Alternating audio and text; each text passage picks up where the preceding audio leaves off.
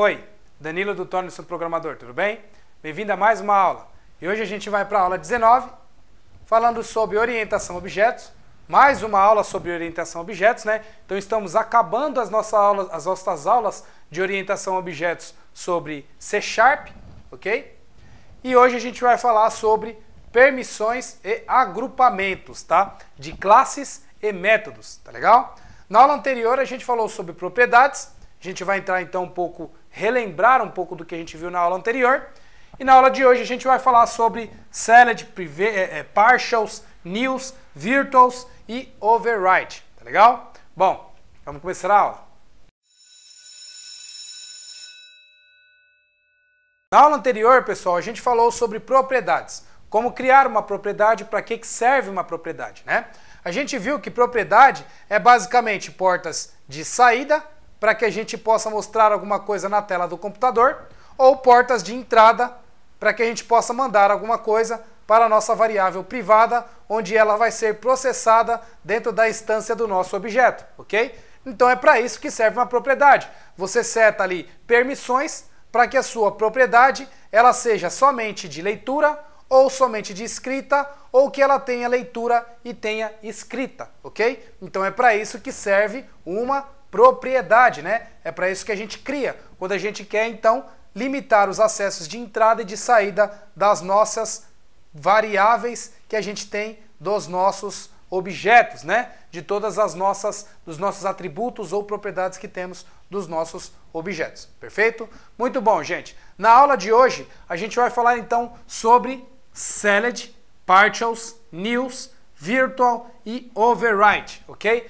Então, para que, que serve esse monte de coisas aqui, tá?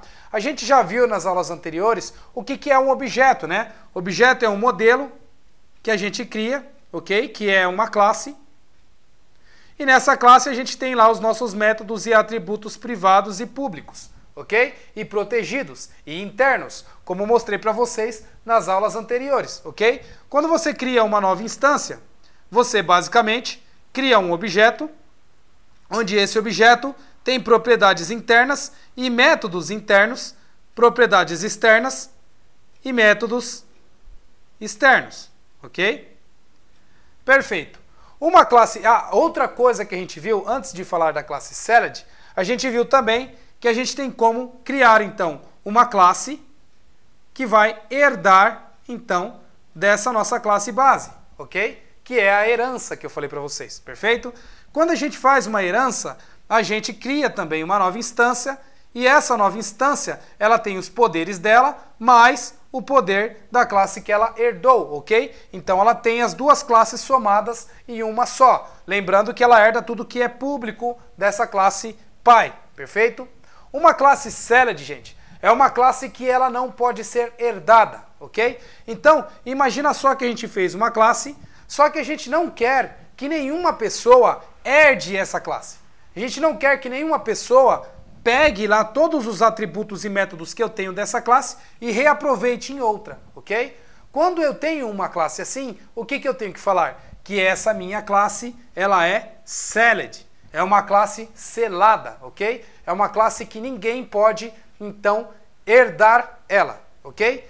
Esse salad, ela não serve somente para classe, como ela serve também somente para, ele, como ela serve também para os métodos, tá legal? Então eu posso chegar e falar que um método ele é selado, tá legal? Eu posso falar que esse método eu não posso fazer um override, ok? Eu não posso fazer o polimorfismos, o, o, polimorfismo dele, né? Lembra lá de muitas formas. Então eu não posso fazer o override de um método selado e eu não posso herdar uma classe que ela é selada, ok? Então é para isso que serve a palavrinha salad, perfeito? A gente vai utilizar isso então na nossa aula prática hoje, tá? Uma outra palavrinha que a gente vai ver também é a partials, tá? Para que, que serve a palavrinha partials? Partials, ela serve basicamente para quando eu tenho duas classes, ok? E aí essas duas classes, ela tem o mesmo nome. Por exemplo, animal.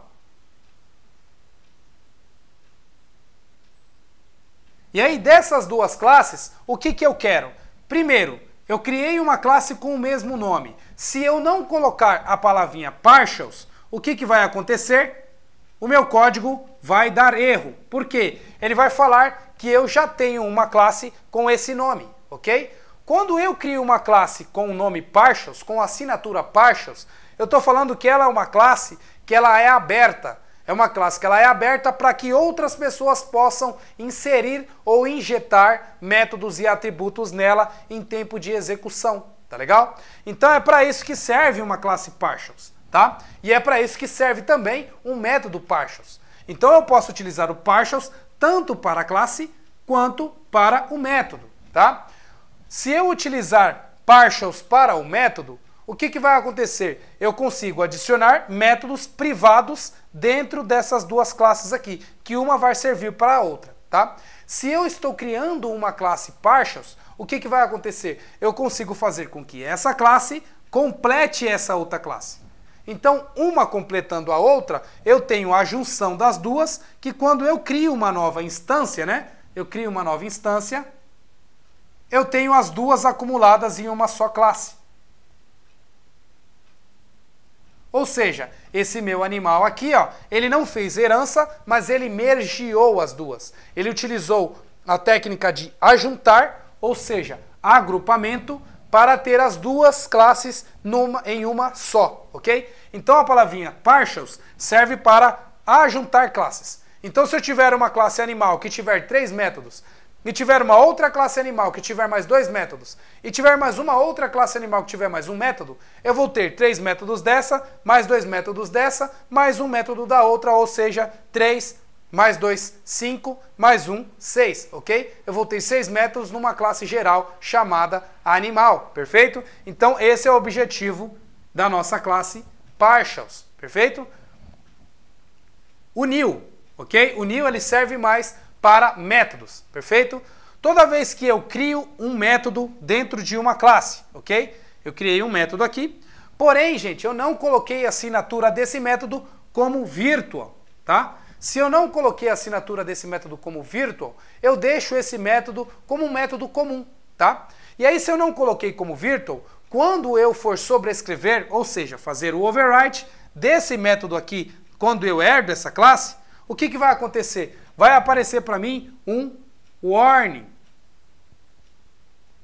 Quando eu for compilar o meu código, vai falar para mim que essa, essa forma de eu sobrescrever não é a ideal. Vai funcionar, mas não é a ideal, ok? Então, o método virtual, ele serve para você falar que esse método aqui ele vai ser sobrescrito. Quando você não coloca o método virtual, você ainda mesmo assim você quer sobrescrever porque o cara que preparou a classe base não falou que aqueles métodos são virtuals e você não quer que dê warning, o que, que você pode fazer? Você pode colocar o atributo new dentro do seu, é, dentro da sua sobrescrita do seu método. Ou seja, quando você estiver sobrescrevendo um método que ele não for virtual, você não vai, você não vai conseguir fazer o overwrite mas você pode fazer o new. Quando você faz o new, você tira o warning e aí a sua aplicação vai funcionar corretamente, ok? O objetivo então dessa aula, gente, é fazer os testes de todas essas palavrinhas aqui e mostrar para vocês a diferença entre um e o outro, perfeito? Então agora a gente vai lá para o computador e eu vou mostrar para vocês como executar um, como executar o outro, como compilar um, como compilar o outro e quando que vai dar erro quando vocês tentarem utilizar então desses, desses recursos aqui, perfeito? Então, vejo vocês lá no computador. Muito bom, pessoal, de volta no computador. Então agora a gente vai para a nossa aula de número 19, né? A gente parou na aula 18, agora vamos para a nossa aula de número 19, falando então sobre permissões e agrupamentos, utilizando select, utilizando partials, utilizando new overwrite, todas ali alguns todos esses atributos, né, esses recursos que a gente tem então da linguagem C Sharp, né, do .NET. Perfeito? Lembrando que a cada momento vocês podem pagar ali a aula particular, reservar, eu vou agendar com vocês. A gente vai ter a nossa aula por Skype ou por Hangout, onde eu vou esclarecer todas as dúvidas de vocês e aí vocês vão conseguir seguir em frente com as, com as, videos, com as videoaulas aqui do Torne-se um Programador. Hum. Bom, perfeito, gente. Indo lá para a nossa é, para nossa máquina Windows, né? Então eu preparei algumas coisas aqui para mostrar para vocês a diferença de select para não select, quando eu quero deixar a minha classe né, fechada para ninguém fazer uma herança e assim vai, tá? Então vamos começar com a classe Salad, ok? Perfeito. O que, que eu estou fazendo aqui então? Eu estou criando uma classe chamada animal, ok? E nessa minha classe chamada animal, o que, que eu vou fazer aqui? Ó? Eu vou comentar esse método aqui também, porque a gente não precisa dele por enquanto, tá? Perfeito. E aí o que eu estou fazendo aqui? Eu estou criando uma classe animal, e aí eu estou criando uma outra classe aqui, ó, chamada macaco, que vai tentar herdar desta minha classe animal, tá? Então vocês já viram ali comigo como que funciona a herança e assim vai, né? Perfeito. Quando eu tento então herdar uma classe que ela está selada, olha só o que, que vai acontecer. Já vai ficar aqui vermelhinho, e aí quando eu tentar compilar o meu código, ele vai dar erro, falando que eu não posso herdar uma classe que está locada, né? que ela está selada, está é, fechada e ninguém pode então alterar ela ou fazer o polimorfismo ou fazer as alterações que a gente tem comum numa classe quando a gente usa herança, né? Então deixa eu compilar o código aqui que vai mostrar para vocês logo logo. Muito bom, classe compilada, agora vocês podem ver aqui, ó, macaco não pode derivar de uma classe selada chamada animal, né? Então ele não pode herdar dessa classe, simplesmente porque eu coloquei a palavrinha salad, ok? Então eu quero restringir a classe que eu criei para que ninguém faça herança. É assim que eu é, defino essa classe no C Sharp, perfeito? Eu vou retirar o salad agora e vou recompilar o código. Vocês vão ver que agora a minha herança vai funcionar, o meu código vai passar normalmente, funcionando então é, a minha, o meu permissionamento lá dessa vez. Então, ó, rodando meu teste, tá aí funcionando, ele só deu um warning aqui, ó, mas aí a gente vai ver esse warning mais para frente, perfeito? Muito bom. Tá aí, gente. Agora o próximo passo é, eu vou criar um método que ele é selado, ok? Então eu tenho um método aqui que é o teste 2, e eu estou colocando ele como salad, ou seja, você não pode sobrescrever esse método, tá? Lembrando, aqui a gente tem a classe macaco que está herdando da classe animal, perfeito? E aqui a gente tem então um método teste que a gente está tentando fazer uma sobrescrita do método original teste 2, porém esse método teste 2 eu coloquei ele como selado, né? Eu coloquei ele como locado, eu não deveria então conseguir fazer essa herança. Vou compilar o nosso código para a gente ver o resultado. Então tá aí, gente, ó. Você não pode, né? Cannot be salad because it's, eh, it is not an override. Ou seja, você não pode sobrescrever um método salad porque ele não pode ser sobrescrito, tá legal? Então, esse aqui também eu posso falar que não pode ser sobrescrito, perfeito? Tá, agora a gente vai ver um pouquinho sobre o método new, né? Então aqui eu tenho uma classe normal, aqui eu tenho um método comum, perfeito? Aqui eu tenho uma outra classe que eu herdo, herdo dessa minha classe base, que é a de animal, e aqui eu estou fazendo então uma sobrescrita do meu método original, que é o teste 2, ok? Então quando eu compilar o meu código, vai funcionar normalmente, vai compilar, porém eu vou receber um warning, que é aquele warning que vocês estavam vendo nas, nas compilações que eu já estava fazendo, ok? Falando que o que, ó, olha só, eu tenho aqui, ó, sucesso, mas eu tenho um warning aqui falando que esse método que eu estou sobrescrevendo, ele não é, é ele não está como virtual, né? Então eu estou sobrescrevendo ele de uma forma incorreta, tá? Se eu quero sobrescrever ele de uma forma correta, eu posso, tirando esse warning, eu posso simplesmente colocar a palavrinha new, ok? Então é a palavrinha que a gente viu lá no comecinho da aula, perfeito? Então colocando a palavrinha new aqui, vocês vão ver que ele vai compilar aqui e não vai dar nenhum warning, vai funcionar perfeitamente, ok? Então não tem o tracejadinho aqui, ó, funcionando bonitinho para gente, perfeito? Muito bom. É, a outra coisa é, eu não quero utilizar o new, mas eu quero que não tenha warning, ok? Ó, não quero que fique assim tracejadinho. O que, que eu posso fazer então? Eu posso colocar esse método aqui, que é o da minha classe base, como virtual. Quando eu coloco ele como virtual, eu tenho a possibilidade de escrever o override aqui. E aí, colocando o override, o virtual ele é casado com o override, eu não tenho aqui mais o meu tracejado, eu não tenho um warning. Quando eu compilo, também vai funcionar da maneira correta, ok? Perfeito. Então deixa ele compilar aqui para a gente ver. Tá aí tudo bonitinho. Muito bom. Agora o outro que a gente tem, gente, é a nossa classe partial, ok? Que é a classe que serve para agrupamentos. Então eu vou comentar esse código aqui para a gente começar a dar uma olhada na nossa classe partial, perfeito? Comentado. E agora a gente vai olhar a nossa classe partial. Nota que aqui ó, eu estou criando duas classes, tá? Estou criando uma classe animal e aqui eu estou criando outra classe animal. E aqui nessa classe animal eu estou criando uma classe que contém um método, não, que contém uma propriedade, desculpa, um atributo, tá? Estou criando uma, um, um método partial aqui para que eu possa então sobrescrever esse método, né? Não, não sobrescrever, mas dar a implementação desse método, tá? Porque nesse caso eu não estou herdando, eu estou falando que uma é parte da outra, tá? Então por isso que é partial, perfeito? Então olha só que interessante. Eu tenho um animal e tenho um animal também. Eu tenho um método, eu tenho, na verdade, uma propriedade, desculpa, um atributo, tenho outro atributo, agora eu tenho dois métodos aqui e esses métodos vão ser mergeados e tudo isso vai funcionar para a minha instância quando eu criar uma instância de animal dessa minha classe partial, ok?